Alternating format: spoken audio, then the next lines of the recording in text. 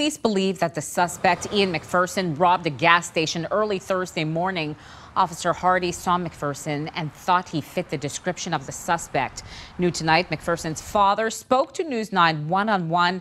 WMUR's Mike Cronin joins us live now from the scene on Ferry Street. Mike. Tonight, his father says what started here on Ferry Street was avoidable.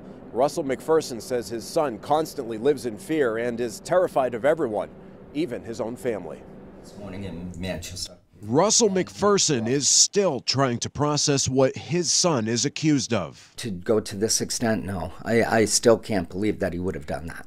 Ian MacPherson's father says his son has a history of mental illness. I'm sorry to begin with that these officers were injured. I know they have a very hard and thankless job often, but even more sorry if it was my son that, that did this. Russell describes Ian as a sweet child growing up until he was about 17 years old. Court records from Merrimack District Court show he was arrested multiple times, most recently in 2012. Documents say he violently attacked his father kicking him, grabbing him by the neck, and smashing his head into the floor. Russell says that was the last time he saw him. I don't know a lot of, of my son for the last five years, other than he's been homeless. Russell says his son was abused in school, suffered a head injury in a car accident, and is paranoid schizophrenic. Well, I'm extremely angry. I'm extremely angry with the system. It's failed not only my son Ian, it's failed the family, and it's failed these police officers. Russell says multiple court orders have been ignored over the years.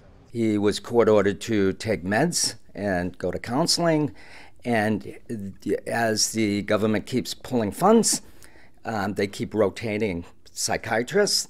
He says this situation that had an entire city on edge should have never happened. As long as we keep pin pinching pennies on mental health issues, these things are going to grow and they're going to happen. You know, there's no reason that somebody with his history should be able to get a gun. Russell says Ian's issues should have been dealt with years ago, and he hopes that the officers who were injured recover quickly. Reporting live in Manchester, Mike Cronin, WMUR News 9.